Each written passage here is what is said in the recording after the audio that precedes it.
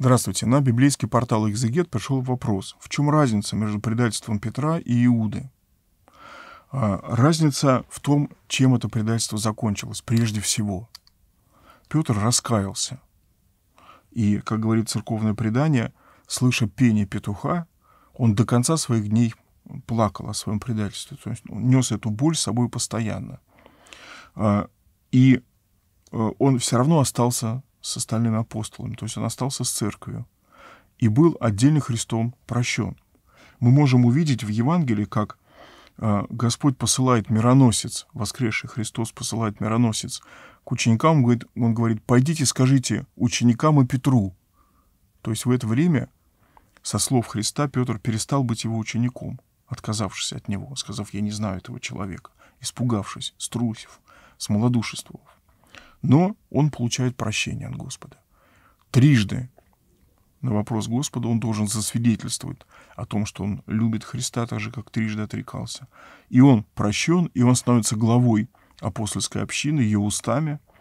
А, и теперь, а, после своего отпадения и прощения, ему точно можно дать ключи от Царствия Божия. Потому что он знает, что такое падение, что такое прощение. А вот Иуда, раскаявшись, пошел и наложил на себя руки. Грех самоубийства является самым страшным грехом, потому что невозможно покаяние как изменение этого греха. В любом грехе можно деятельно покаяться и быть прощенным. И святые отцы многократно говорят, что если бы Иуда раскаялся и пришел ко Христу просить прощения, пришел бы к апостолам, он бы был точно так же прощен Иисусом. Но он не смог этого сделать. Он потерял всякую веру, потому что в... И именно поэтому церковь не отпевает самоубийцы, за них не молится, а, а, если они, конечно, не были э, сумасшедшими. Так вот, в самоубийстве есть крайняя степень безверия, отвержения Бога, его промысла а, о мне. Крайняя степень недоверия — это такой бунт перед Богом. Ты даешь жизнь, а я не хочу ждать ее окончания. Она не такая, какая должна быть. И человек говорит, я ее прекращаю. Поэтому Иуда а, и не прощен.